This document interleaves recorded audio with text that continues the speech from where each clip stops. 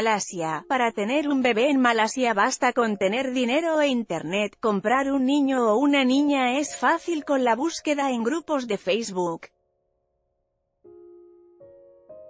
Lea también, mamá, Chloe dentro lavadora, decía su pequeño entre lágrimas Facebook se ha convertido en una herramienta para que los traficantes de personas expongan como mercancía las opciones que hay para adquirir un bebé. Foto ilustrativa, Public Domain Pictures lea también, se podría decir que yo nunca quise a mi hija. Yo la maté, no es algo que veas todos los días, pero si compartes en Facebook que quieres un bebé, vas a tener a gente contactándote muy rápido, señala la directora de operaciones de la ONG por los derechos de la infancia Yaya Sant, Ukit Ananti Raj.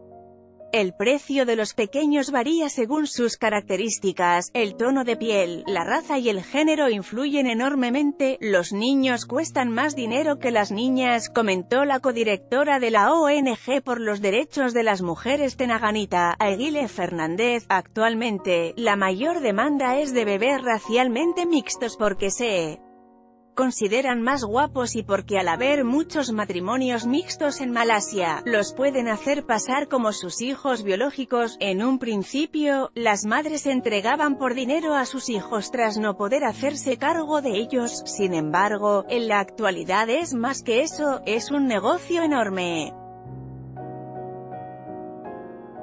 El precio por un bebé va hasta los 7.000 euros, más gastos del parto, aproximadamente 500 euros, y el certificado de nacimiento falso, unos 1.400 euros.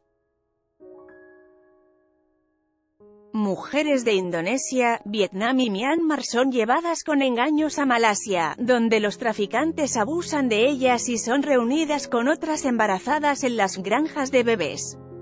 Las mujeres son abusadas hasta que se quedan embarazadas y si consideran que alguna es guapa y está en buen estado de salud, la retienen para que tenga más hijos, agregó Aguile.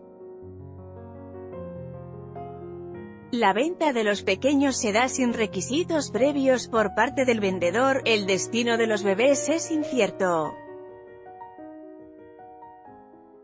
Muchos se quedan sin comprador por el tono oscuro de su piel y son llevados a Tailandia para mendigar y ser explotados sexualmente.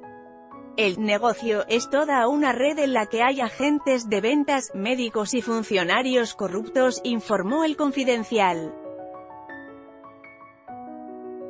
Los compradores salen del hospital donde nace el bebé ya con su certificado de nacimiento, en donde aparecen como padres biológicos. Ananti Raj dice que los prostíbulos están pasando a ser también granjas de bebés. Los traficantes lo ven como un negocio redondo, los clientes pagan por tener relaciones pagan más por tenerlas con mujeres embarazadas y después del parto los bebés son vendidos. En esta nota, Malasia Granjas de Bebés Tráfico de Personas